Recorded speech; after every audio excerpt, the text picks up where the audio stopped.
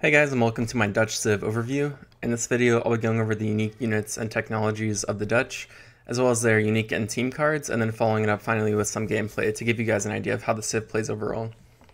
So let's go ahead and get started with their civilization bonus. So their settlers cost coin instead of food and have a lower train limit, but gather mines 15% faster, and then begin with an envoy. So basically just already starting off, the Dutch play very differently in kind of all their build orders than in any other civilization. Um, because as it says, their villagers cost uh, coin instead of food. So at the beginning of the game, you'll generally be putting all your, um, you know, settlers onto the mine to start off with, and generally you can sustain that production with around five or six villagers. And then at some point you'll kind of take them off, gather food to age up, and that's kind of how they play in the first age. So it's pretty interesting um, how they play in general, since you're always going to be going for gold first, and then at some point you have to make a decision when you're going to switch over to food and other resources. Um, so it's definitely a little different to get used to than other civilizations already, like right off the bat from that. Um, but they are very good at getting coin overall, so there's some interesting strategies that we can talk about in a little bit with that. Um, and then they also get the envoy, uh, and I guess we'll just go over the envoy right now. So the envoy is a Dutch reconnaissance unit with a good line of sight, but but a weak attack. So you can get up to th three of these, I believe, and they're basically just really good scouts. So you can, you know, get three of these and just have line of sight pretty much all over the map at that point. So you can see if there's any attacks coming in, or you know where their villagers are, where their weak points in the base are, all that kind of stuff. So these envoys are a pretty good unit to get, and it's nice to start the game with them to help you scout out those treasures and just see what your opponent's up to at the beginning of the game. Um, so that's pretty good. Going back over here to the Royal Guard units. Uh, we have the Halberdier or the Stad, Stadschwat, and then we have the Ruyter, the Carabiner. And I guess we'll just go ahead and talk about the Ruyter unique unit since we've already covered the Envoy. So the Ruyter is the pretty much the only Dutch land unique unit. And so they're ranged cavalry armed with pistols, and they're good against cavalry and artillery. Um, something else to know about these guys, they only cost one population, um, and so you can get a ton of these guys. You know, you could have like hundreds of these. Um, also, because of their civilization bonus, where you have a lower train limit on your villagers, generally the Dutch, what it means is you're going to have a, a, pretty low villager count. So you can have a very big army, but your overall economy will be generally smaller than other civilizations when you're trying to boom. So it's just something to be aware of. Um, so, but these guys can kind of take advantage of that extra population space by only costing one population. Um, and generally, I'd say they're since they do only cost one population, they're kind of a weak unit, and they're you know their main thing is around massing these guys really, and you can tell they only cost 30 food, 75 gold, and as we'll see in a minute, um, you know gold usually isn't a problem, so you can you'll be able to spam a lot of these guys out, um, and it can be pretty fun. But going over a little more detail on their stats here, um, they have a 3x bonus for hand cav, they have a 2x bonus for artillery, and a 0.5x bonus for villagers. You'll notice without too many of these, you're actually going to have a pretty hard time killing villagers. They do have like a pretty weak attack overall. You really need those bonuses to help you out. They will shred cavalry, and they're extremely good at kiting enemies around. But you'll notice they're they're pretty weak against any like skirmisher or just long range uh, infantry unit. Um, so you got to watch, or even uh, ranged cavalry unit. So you just got to watch out for those kind of units. So overall, um, I don't think it's like an amazingly strong unit. It's definitely fun to play to kite people around. Um, but yeah, so that's their uh, ranged cavalry unique unit. And then I don't think it shows it on here, but then their other unique unit is a, is a Fluyt, or however you pronounce that, and it's basically a ship. Um, yeah, I don't see it here. But um, the Fluyt is a unique ship, and um, it's pretty similar to the Galleon, but it has less hit points and more attack. Um, so I don't have too much to say about that. I'm not super into like the naval combat in this game, so I don't keep up with you know all the different ways to play with the navy. So I don't have too much to say about the Fluyt. I guess it's an okay unit. Um, you guys just let me know what you think about them. I don't use them too much, so be curious to hear what others think. Um, and then we have the actually before we move on to the building real quick. Um, the, it doesn't say this anywhere here, um, which is one kind of thing about AoE 3. There's some like weird uh, things that it just doesn't tell you about civilizations. Um, but if you look it up, you'll realize that you actually get skirmishers in the Commerce Age. Um, let me go over, I wonder if it shows it here. Just go to the barracks. Oh yeah, so I guess it does show it here. Um, yeah, so you get the skirmishers and the uh, Commerce Age um, rather than the um, uh, rather than the third uh, fortress age like every other civ does. So generally, most Dutch strategies are around using skirmishers in the commerce age. Um, you know, building 10 or more of these and maybe harassing your enemy while you try to build your banks and everything behind that. Um, so yeah, your kind of main units usually like skirmishers, some artillery for anti-infantry, um, and then maybe some Ruyters for anti-cavalry. Those those are kind of like your main units as Dutch generally. Um, oh, maybe, maybe some halberdiers too, but you know, I, I wouldn't say halberdiers a meta since they're so slow. Although they do have a unique upgrade here that we can actually go over right now. Or actually, that wasn't a card I'm thinking of, but we'll go over the unique monastery upgrades anyways.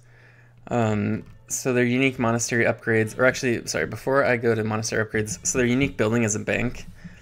And again, I don't think their texture actually shows a bank. Let's see. Okay, it does show a bank. So 350 food, 350 wood, and the Dutch building that produces coin. So this is pretty critical to all the, the Dutch strategies. Um, since you have a lower villager train limit, these banks are pretty crucial for you. And you know, people have different build orders. Some people build a bank really early as you're aging up. Some people build two banks before going fast fortress. Um, it kind of just depends on the build order. But whatever you do, you're obviously going to want banks and to tr eventually try to max these banks out.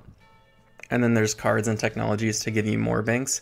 Um, but they're very crucial since you, as I said, don't have as many villagers. So your economy is essentially capped. So you really need this bank to, uh, you know, just improve your economy, give you more gold. Um, and that's how you'll, you know, aside from estates, you'll mainly just have banks and maybe one estate or something. So then let's go back over here to the unique church upgrades. So first off, we have coffee trade. Uh, speculative trading practices let you establish two more banks. Um, so yeah, you can basically just build two more banks. It does limit your military speed by 10%, which is kind of unfortunate. I feel like the Dutch already aren't the best civilization, so I feel like that's kind of unnecessary. Like they could just have the build limit increase without that speed decrease. But regardless, um, you'll usually be picking this up um, if you can, just because you want the two extra banks for your economy. So just because of this um, tech alone, you'll usually be getting the unique monastery upgrade just so you can have more banks. Uh, next we have Ward Gelders, ships 5 Waardgelders, powerful heavy, heavy cavalry. Um, you know, generally just mercenaries. Uh, good cards to send if you have a lot of gold that you want to use on these and you need them kind of uh, to like defend you or just want some, you know, heavy cav to um, you know, put some different kind of units into your force. So just depends on the situation, of course, like all the mercenaries. And then we have blue guards, ships 30 musket armed blue guards from the homeland. So it delivers 30 musketeers, guard, musket, guard musketeers, status set to active. So they, they come in as uh, guards, I guess, or veterans. And you get 30 musketeers. Um, so yeah, I mean, if you want musketeers, 30 musketeers, then uh, you can go ahead and send that shipment that might be useful because one thing the Dutch don't have is actually skirmishers generally. So if you're having a lot of problems with, I guess, cavalry, but you really shouldn't, you know, the the Ruyters are gonna kind of fill the anti-cavalry spot that musketeers will will sort of function as, I guess, in some cases. I mean, musketeers are more just like a general unit, but um, you know, if you're trying to protect your skirmishers, I guess, and you want some kind of infantry in front of them, then you could get those musketeers and kind of have a little bit of a meat shield for cavalry coming in if you're really having a problem with that. So it, it could be useful in a niche situation. Um, in late game, you'll probably have plenty of gold, so you know you might as well get it if you if you want to get it and it, you think it could help you. Um, but yeah, I think that's all the unique technologies and units for the Dutch. Um, there's not too many. Like I said, um, the uniqueness is usually or is mainly around their you know, gathering coin instead of food for their villagers, um, and then building these banks. Those are really like their main things. And then this Ruyter is just kind of their main unique unit. Um, and it's very good at anti-cavalry, only takes one pop space, but other than that, it's it's a pretty weak unit. You know, you can kill villagers, but again, they're they're good at raiding just because they're fast, but they actually don't do very much damage. So don't expect these guys to do too much aside from just killing hand cavalry. So yeah, that is all the Dutch unique units and technologies. So with that, let's go ahead and look at the decks that you're going to be building as the Dutch. So now on to the decks for the Dutch. And I did just want to mention, because I forgot to do it in the unit section, that Um, the Dutch revolts are the United States, Brazil, Indonesia, and South Africa. And I believe they're, I think South Africa of those is the best uh, revolts, or that's what I've heard people say. I haven't tried it out too much myself. I mean, it definitely seems like the strongest one. Um, yeah, so try it out for yourself. I've, I've heard some good things about the South African revolt, so if you guys are looking to revolt, then maybe try out that one. Um, all right, and then now on to the cards here. So, um, I don't know why. Okay, right. Okay, so first we have the three settlers card. Um, I just put these in here to give you an idea. Um, as someone had commented in a previous video, um, they wanted not just the unique cards, but you know, kind of some cards around maybe how the Civ plays generally, um, and just some useful cards that you're usually going to be taking as a civilization. So that's kind of why these are in here. So usually as Dutch, you'll pretty much always want to take these settler cards, just to, especially the three settler card for a boost to your early economy. Um, super useful to get up a good villager count at the beginning of the game. Um, but yeah, not, not too much else to say about that, just a very good card. Hot air balloons, your explorer hero gains the ability to use temporary hot air balloons to explore the map. Um, I wouldn't take this. You already have the uh, envoys for your scouting, so you probably don't need this. But I mean, as you can see, one of the Dutch's kind of skills is just having amazing map control or line of sight everywhere. So if you want to have a just even better light, uh, you know, map controller line of sight, then maybe you take this, but probably not worth it. And here's some interesting ones. I don't think these really make sense to be exploration age, but either way, we have the Bank of Amsterdam and the Bank of Rotterdam, which both increase your bank build limit by one. So usually you're going to be taking these two cards, but you're actually not going to be using them till later in the game when you're at your bank build limit. But you know, usually you're to want to be taking these cards, just like I said, for more economy, more banks. Um, that's all good stuff. And kind of similarly, you you also have on um, these two cards here. So Colbertism, you get 1.5 food trickle rate. Um, and you probably won't be taking this early just because you want the settlers and then to get the age 2 cards. But, um, you know, if you want some food trickle late game, if you think it's to go for a really long game, then you might want to consider taking this. But I wouldn't say this is essential, but it, it could be useful if you want just a little bit of better economy for your food. And then we have South Sea Bubble. Uh, exchange all of your current coin for a greater amount of wood. So similarly, if you're this could be useful in a couple of cases. So maybe you're in a treaty game and you're just getting as much gold as you can and then exchange it for wood, um, or you know maybe you're just running really low on wood at some point in the game and you want to you know call on this card. Um, I think it's more of a treaty card, just because it's a very specific situation where you can make the most use out of this. Um, so yeah, maybe useful in treaty. Otherwise, probably don't take this. Four settlers, same as three settlers, just, uh, you know, four settlers in age two if you want to take that. Um, and I also didn't put the 300 wood up here, but yeah, 300 wood and 700 wood are in a lot of build orders because people want to get banks out as fast as possible. So depending on what kind of order you want to go or how you want to play the Dutch, you'll probably you may you know want to take 300 wood or 700 wood just to help get those banks out faster. Keep your guys on gold or keep your guys on food to you know be able to age up and everything.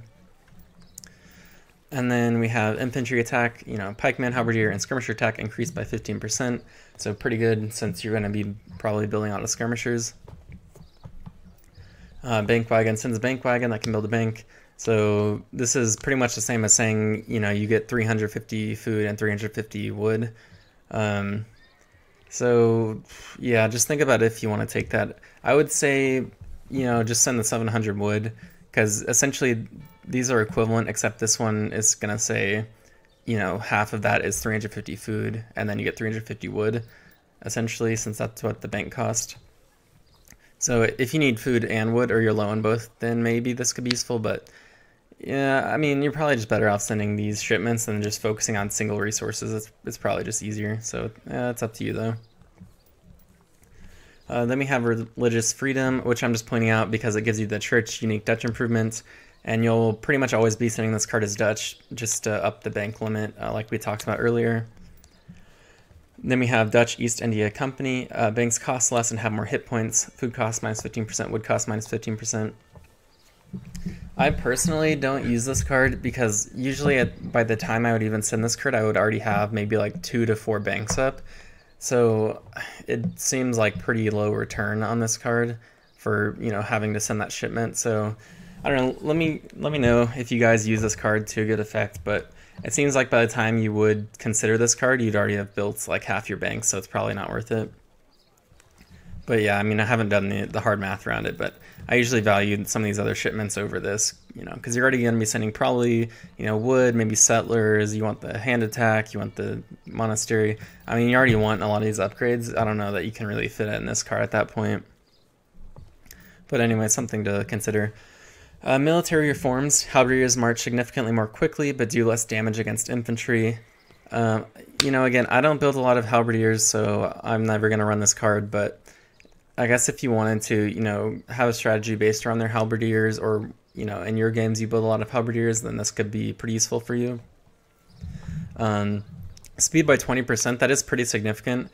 Um, but you also have to realize that, you know, if you're getting the unique monastery improvement, essentially this will be a net 10% increase in their speed. Um, you know, because this is going to take minus 10%, then you're going to add 10% or 20%, so net 10%. And they do less damage to infantry because of this. Not a, not a whole lot less, but a little bit. So, I don't know. I would just avoid halberdiers, honestly. Um, but if you really want to make them and speed is a huge issue, then you could definitely take this card. So next we have infantry combat, pikeman, halberdier, and skirmisher attack and hit points increased. Again, you know, always consider taking this card just for those skirmisher hit points and attack damage, uh, pretty useful. And then similarly for cavalry, all cavalry attack and hit points increased. So mainly for your Ruyters, you want their, you know, you really want their attack to be increased. Their hit points don't matter as much, but you really want to up their attack because, like I said, like early game, their attack is pretty atrocious. Like they have a hard time even killing villagers, so it's nice to get that attack up. And then we have Admiral Tromp uh, Fluyt hit points greatly increased, uh, so hit points increased by 75%. Uh, yeah, so I mean, if you're playing a naval map, I'm sure this is useful. Otherwise, don't bother. Um, tulip speculation, bank coin production increased, um, and then auto gather work rate for that coin is increased by 20%. So always take this card pretty much. Yeah, I would always take this card just because, you know, at that point in the game, you're going to have, what is it, like seven or eight banks probably. And I mean, you, you really need the extra economy as Dutch. You, you have factories in the industrial age, but other than that, I mean, you're stuck with your I, I, don't know what it is in definitive edition but around like 50 to 60 um, settler limit and then your banks. So anything you can do to improve your economy is really good as dutch because um, you're always going to kind of struggle with this. The whole thing with dutch is you have a small economy the banks help factories help all and this helps all of that help but at the end of the day your economy is just going to be flat out smaller than other civilizations because of your really low settler train limit with the exception maybe being on a naval map where you can get fishing ships. But yeah, anyways, the the point is your your economy is always going to be smaller as Dutch compared to other civilizations, so you need to make up for that. And the way Dutch really makes up for it is in their military, since they can have a larger military. So I mean, the Dutch are really all about um, you know building your your big army and winning every engagement. I mean, if you lose, it's going to be hard to rebuild because you don't have a big economy. Um, but anyways, yeah, the point is um, take this card, increase your economy. Always good to do as a Dutch since that's kind of their weak point. So next, let's move on to these team cards.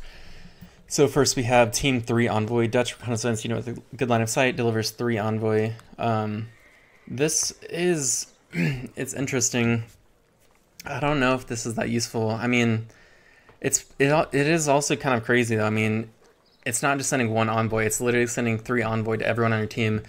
So I mean, if you send this, like you're, you know, if you're in a 3v3, even a 4v4, if your guys space out all of their envoys across the map, you'll be able to see so much. Like you'll, I mean, I feel like you'll be able to see pretty much the entire map. So, I don't know. It's hard to say. I'd say maybe, maybe if they're like a team where you're unsure if they're going to rush you down or not, maybe you'd send this just to maintain line of sight and you could, you know, send it out push shipment if you needed to, something like that. But you'd have to have a pretty good reason to send this over, you know, three settlers or other ones. So I don't know. Maybe you go like three settlers into this and just kind of go for a defensive strategy. You could consider that, but yeah, like like a lot of these team ones in the first age, they're they're just so hard to fit in. Um, so I don't know, but I mean, if you think about it, even late game, these could be useful because you're just maintaining map control with an amazing line of sight. So I don't know. If you value um, map control or, or, you know, line of sight around the map really highly, then definitely take this card. But if you don't take advantage of that increased line of sight, then it'll just be a waste. So anyways, uh, then we have Team Cheap Market Improvements. So basically makes all those kind of uh, market improvements cheaper. Um, haven't done that math on this one, but you know, I'm kind of thinking that this could actually be really good, but you'd you'd have to have a specific strategy around it. You know, because like this one and this one, they're both kind of around the strategy of like booming your team economy um, and doing it safely. So if you send this like right away and everyone on your team builds a market and gets these upgrades, I mean, you, you should be ahead of your opponents, but um, I mean, you're playing a supporting role at that point. You're not going to be the main one with like the best economy or anything. So if your teammates are going to cover for you if you send this card, then you know you could send this card. But I would I would only use this if you have a, a you know dedicated team and you guys all know that you're going to get a lot of market improvements early for whatever reason. And if you do plan on doing that, then this I think this could be pretty good. But I haven't really tested it myself just because, yeah, I mean, I feel like you need a, a dedicated 4v4 team to actually take good use of this. Anyways, then we have Team Spice Trade. Team villagers gather food from hunted animals, berries, and cherry orchards faster. Uh, so it looks like hunted animals by 15%, berry bush by 15%, and so on. Um, I would say it's same kind of reasoning as team cheap market improvements. Um, you know, maybe you have specific strategies around getting a lot of food early, something like that. This could be useful. Um, yeah, I don't, I don't think there's much else to say. I think these are pretty similar in that like they're both just economy upgrades very early. If your team, you know, if you're working together and y'all can take good advantage of these, then send them. But if you're just playing with randoms, it, it might not be worth it because you don't really know what they're going to go for or how much it's actually going to help them out. So next we have Team 2 Surgeons, uh, like everyone else has in the European uh, civs. And then we have Team Inf Infantry Hit Points. Uh, so increase infantry hit points by 10%, Dutch only extra 5%. So I guess uh, Dutch only gets the 5% uh, extra uh, infantry hit points. Um, so this will improve your skirmishers and your halbs mainly since those are going to be the two that you're really sending. Um, I think this is okay. I would say I would say send this if your if your team's building out of infantry, but I think if if you're doing it just for yourself, um, I I think you know skirmishers the hit points increase. I don't know that's going to help them all that much. I mean, 15% is nice, but you might as well just send your own card for the 15% hit, uh, HP and attack. Um, so, yeah, I mean, if you plan on sending a lot of infantry and you know your team is going to also, then take this card. Otherwise, just stick with your own infantry hit points upgrades, um, and that'll probably be just fine. Then we have Team Native Warrior Societies, um, so you can train more Native Warriors. Um, I think this is this could be pretty good, but obviously it's just niche. So if you happen to be on a, a map with a lot of native posts and you know and you're gonna take control of those, um, this is pretty good. It, it also kind of synergizes with the Dutch strategy of having a very large army, because since native warriors don't take up pop space, you know you could have a 150 man army plus you know extra native warriors so I mean, you could probably get close to like a 200 person army if you if you really wanted to, and had control of like all the native warrior posts. Um, so yeah, I, I think this could it, this would be more like a fun strategy. Like you just want to have an, an insanely big military as a Dutch and just you know pump out a lot of natives and just have this huge army. If that's what you want to do, go for this card. But I think in normal games, unless you know you're really confident in your team you know building a lot of native native warriors along with you, then um, uh, you know don't take it unless you have a team who you know who you know are gonna take advantage of this. Uh, then we have Team Coehorn and Mortars. Team Mortar attack increased for Chinese and Japanese allies. Hand Mortar and Morutaru attack increased. Um, I think this is kind of trash, to be honest. You know, 20% mortar attack increase. I've never, you know, admittedly, I've never sent this card, but just thinking about it, I mean, when do your mortars really need more attack? They already do so much damage. they already knock down buildings incredibly quickly, and you're in the industrial age. You can build just a couple more of them. Um, yeah, I just don't see this being useful at all, to be honest. I think you know you see this and you go, oh, I could combo this with Team Two mortars, and our mortars are just going to shred the enemy buildings. And yeah, I mean, I'm sure they will, but they are they already do that. I mean, I really don't think you need any extra attack on mortars. They already do so much damage. You know, if you can't protect your mortars, um, then that's a whole different problem. You know what I mean? Like the the mortars can fire from so far away that all you have to do is defend them, and the, the damage isn't really the problem. It's more just you need to siege them, protect your mortars, and they're gonna kill everything anyways. So I I just don't see this card like playing any sort of role anywhere. Like either your mortars are gonna be defended and kill everything, or they're not. In which case, this is the damage is useless anyways, and you'd rather have like hit points, I guess, in that case. So I think pretty useless. I think maybe if it was like hit points or hit points and attack, it might be interesting just because, you know, if the mortars are more survivable, that could actually be a benefit because you wanted to keep them alive. Um, but for just damage increase, you know, it's like taking a glass cannon and just adding more damage. Like it's just unnecessary and probably, you know, just not worth taking at all in my opinion. So as I mentioned, Team 2 mortars, and like I say every video, you know, these are good if you're snowballing the game, um, or if the enemy just has defensive forts, um, or you know a lot of walls or something, and you just want to help your team take all of those out, then you could consider taking this card. I generally don't take it. I think at this point in the game, everyone you know has enough resources for mortars regardless, so I don't think it's that useful. But if you want to, it, it could be a fun card just to see, you know, eight mortars roll up on the enemy base if you're playing a 4v4 and stuff like that. But generally, I don't think it's really necessary. Um, same idea with Team 1 Mortar, but for naval maps. Then lastly, we have uh, team ships to privateers to your colony. Again, same reasoning as this. I, I think this is even more trash. Um, to be honest, I mean, if you're in the industrial age on a naval map and you can't get enough ships, like if your economy's that bad, you're probably going to lose anyways. So paying 500 gold for two privateers, just, I don't know, it seems kind of pointless to me.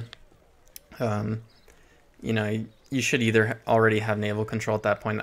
I don't think two privateers in the industrial age is, re is really going to be a turning point for a game. So I would definitely skip this one. I think it's pretty awful card. Um, but yeah, that is all the team cards and all the unique cards for the Dutch.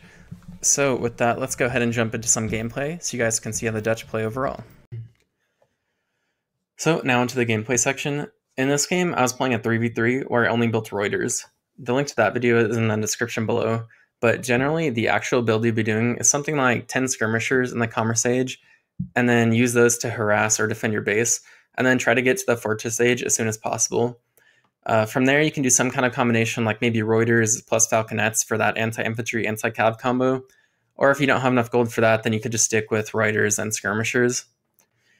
And to me, the Dutch are kind of a weird civilization in that they feel pretty weak throughout the early game, and then they become kind of a powerhouse in the very late game. But it's not because of any particular unit or their economy. Um, in fact, the Dutch can't even boom past around 50 villagers, and it takes them a while for the bank trickle to catch up with the other civilization booms.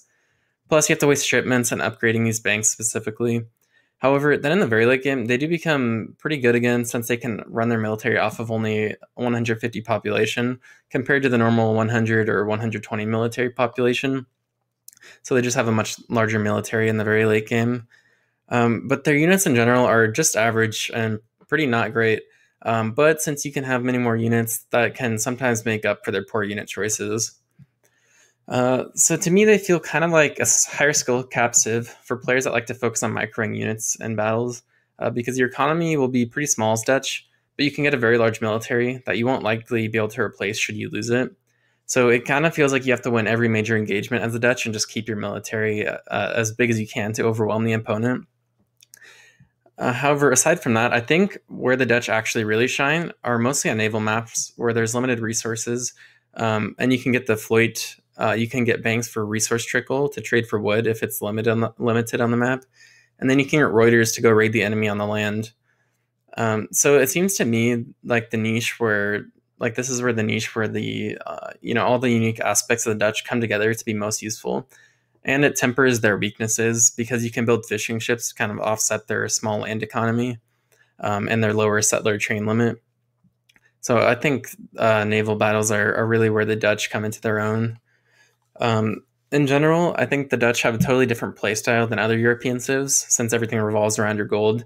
You know, your villagers cost gold, you gather from mines faster, and you have access to the banks to provide coin over time.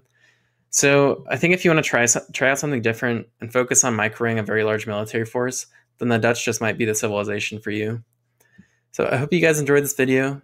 If so, subscribe and turn on those notifications for more Civ overviews. And thanks for watching. I'll see y'all next time.